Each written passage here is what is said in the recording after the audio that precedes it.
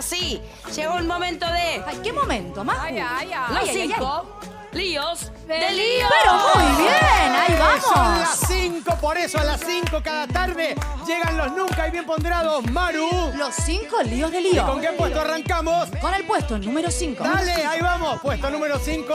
¿Qué pasó? Tremendo. Pobre Vi. El divorcio millonario de Victoria Xipolitakis y Javier. Me fui a Nueva York en un vuelo privado. Ay, Naceli. Tremendo. Y la canción reza, a mí no me gusta el dinero, pero Argentina año verde. ¿A quién se lo van a hacer creer? Chicos, es la historia de, de un episodio que ya se sabía que iba a terminar así. ¿Cómo lo ven ustedes? Este señor es tan, tan, tan millonario. Tiene plata. La familia de Vicky también tiene plata. Y además no nos olvidemos de una cosa. Pero el no papá de un Vicky, vuelo privado en A mí, a me dijeron que, que el departamento que tiene en Nueva York no está en, la- en- en una de las mejores zonas. Pero no está en la quinta.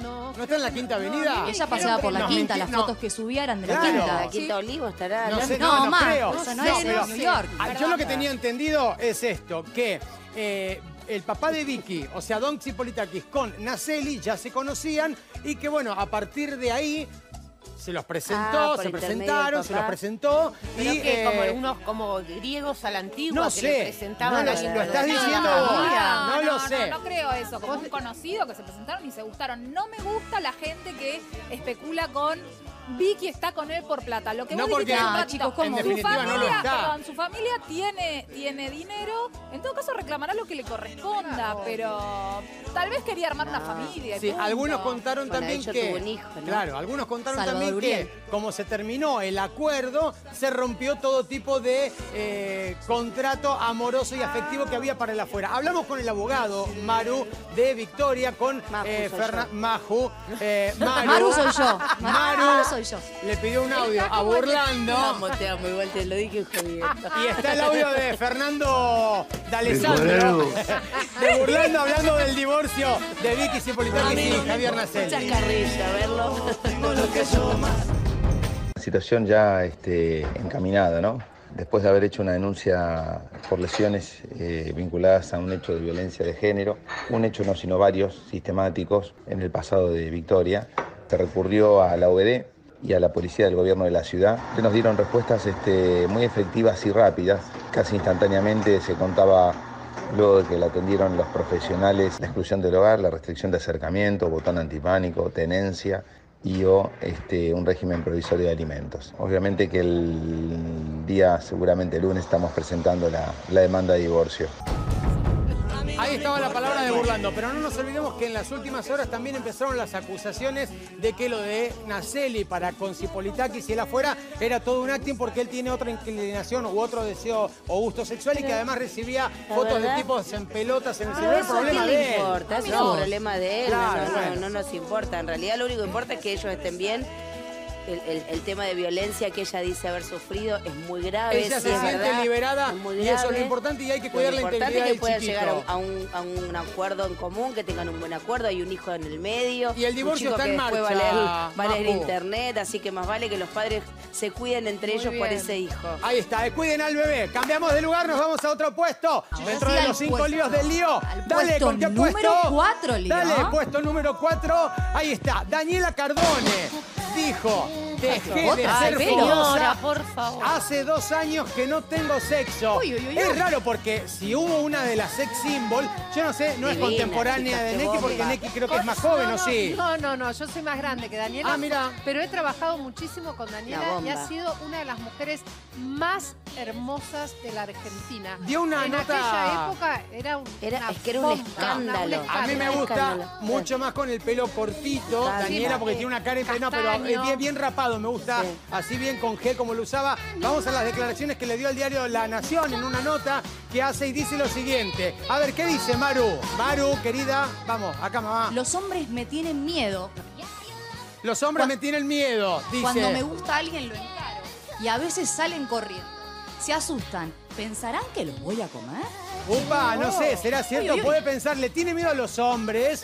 Daniela Pero Cardone. es una mujer fuerte. Ah, no sé muy, cómo muy se verá. Viste que, la- la- no sé, Eh, que se- se no, me no, ocurren no. un montón de maldades. Sí.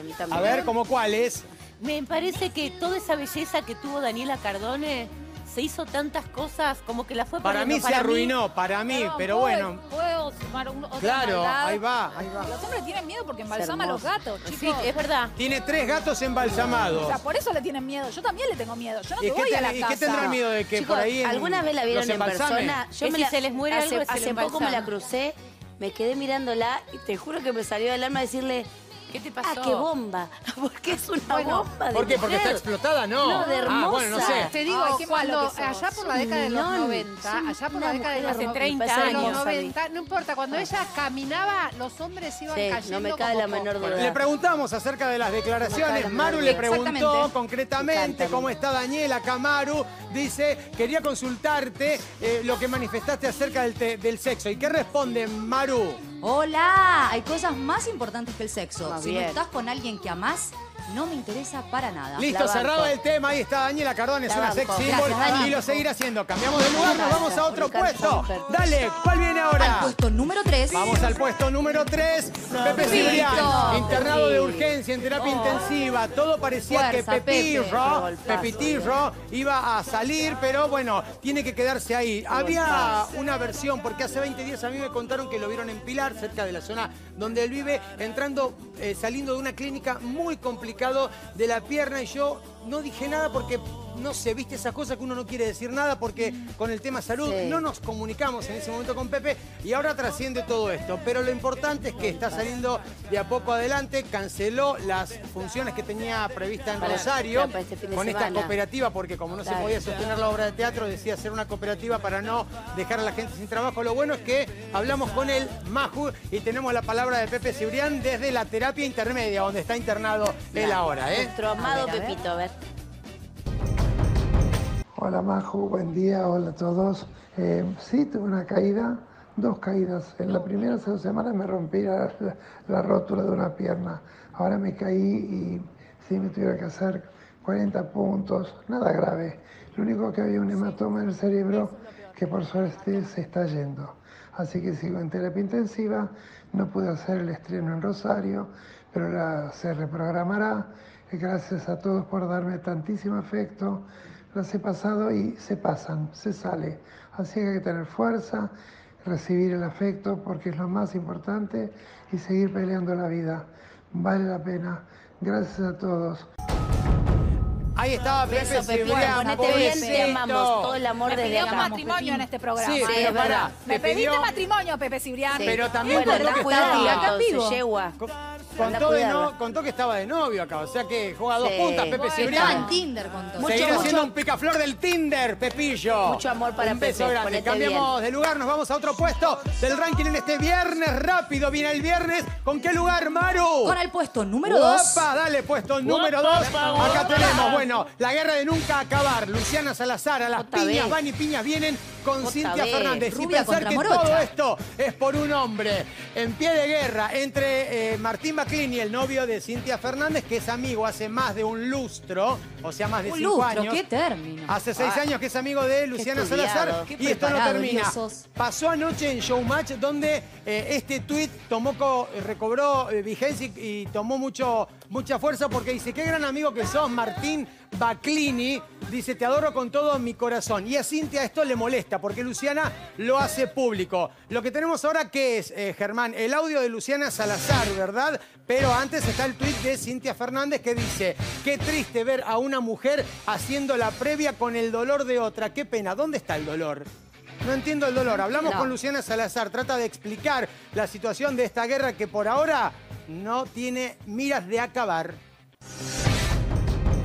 ¿Cómo estás? Ese tweet lo puse porque él estaba hablando de nuestra amistad y lo que defendía nuestra amistad, habló de mí también. Entonces, como estaba en vivo, me pareció lindo devolverle lo que él está diciendo de mí. Mi idea era que se lo pasen como respuesta a lo que él estaba diciendo. Pues ella, no sé, lo contestó mal, pero encima como 20 horas después. Me parece horrible la pelea entre mujeres, más en un momento donde todas tenemos que ser sororas. Desde que entraron a bailando, que lo único que hago es recibir... este, agresiones de parte de ella. Yo no me prendo, yo no digo nada de ella, ni retuiteo cosas feas de ella como ella hace conmigo y todo eso, porque me parece lo menos. Si parece una provocación, bueno, no sé, es- está para quien lo quiera entender de esa forma. Te mando un besote enorme. Yo le pedí el audio a Luciana porque entendía Gracias. que Luciana tiene una amistad. siempre contesta, aparte Sí, la verdad es que sí. Tiene una amistad real con él desde hace seis años por una pareja en común que los presentaron, pero por ahí esto jode a Cintia. Sin y es válido que le joda, ¿no? No sé qué Mira, opinan. do- dos cosas. Primero que Luciana nunca pareciera hacerse, no le entra ninguna bala, nunca pareciera tener, siempre es gente que se confunde con ella. Y por otro lado, a mí me parece que Martín, la verdad le encanta que Luciana A Martín le esto. encanta todo este quilombo porque A lo mí pone me parece en que, exposición. que el responsable mayor es Martín. Total. ¿Y por qué tendría porque- que decirle a la porque amiga, si- no me porque escribas, si no me llames? Siempre es esta Es cosa de, total. ay, las mujeres, las mujeres. No, en realidad, Martín le tiene que decir, mira, Lu, te adoro, somos amigos todos, pero por ahora, si uno puede mandar un texto, si sos tan amigo, mandale un texto, no un tweet. Porque si sabes que a la otra mujer le, le lastima, le da inseguridad de Y pero escúchame, te pongo el ejemplo y ahora vamos a la respuesta de me Cintia. parece que, hay lo- cosas que no suman. que dio hoy en el programa No de suman. Ángel, ¿no? Eh, si Cintia le revisa el teléfono, como suele decir, él encuentra cosas, ahí sería creo que peor. Habló Cintia Fernández, si esta es Cintia la revisa los teléfonos, el problema grande lo tiene Cintia. porque Cintia, eso y no se bueno, hace. acá el- es un es, es En peor. realidad los tres tienen problemas, Es capaz. más ¿eh? problema que el show del problema. Habló Cintia Fernández, tenemos Que el vengan al material. show del- sí, Para están acá verlo. cerquita. No, creo que cumplí como hijo, hice todo, todo lo posible. Estamos todos juntos, estamos todos juntos. Silvia. Pará, ahora vamos. Ahora, ahora vamos a pasar la respuesta de Cintia Fernández. Lo de Guido es con el puesto que viene ahora. Avisanos cuando tengas la respuesta de Cintia porque no la pasó bien ayer, no le gustó, eh, se sintió mal, lo mandó a dormir al living. No sé si tenías una, una foto que lo mandó a dormir eh, al living. ¿Pero qué? ¿Publicó una foto de él durmiendo en el living? Ella dijo, lo mandé a dormir al living a Martín Baclini y lo mandó a dormir al living. Pobre Martín. Decime Chicos, si- no tienen una malo vida, hizo. de verdad, con todo el trabajo que Pero tienen. les no tienen una encanta, les encanta, les encanta la exposición. La respuesta de Cintia se la vamos a deber para otro momento. Me encanta decir esto y que ahora cambiamos de puesto. Tengo una alegría Estoy con enorme. vos, estoy con no sabes la alegría que tengo. Cambiamos de lugar, este es el puesto Número uno. Dale, vamos, puesto número uno. Guido Zuller, a mi Ahora mamá sí. la envenenaron y la mataron. Ay, Tenemos ay, la declaración, una Fuerte. acusación. Nos contó Silvia Zuller en primicia, lamentable que había fallecido su madre y Guido carga con todo. Esta es la declaración. No, creo que cumplí como hijo, hice todo, todo lo posible. Estamos todos juntos, estamos todos juntos. Está Silvia también. Sí, sí, sí, estamos todos juntos. ¿Qué fue lo que pasó? Chicos, es muy fuerte lo que sucedió. que le Sí, hizo mal? la envenenaron, chicos, la envenenaron. La envenenaron. La, la Dijeron que- envenenaron. Léeme, léeme esto. Con este medicamento. Meto, envenenaron meto, Eso es lo que, lo que le dieron. Sí. Es para la artri- art- artritis, pero también es tan fuerte que a una señora de 90 años no se le puede dar.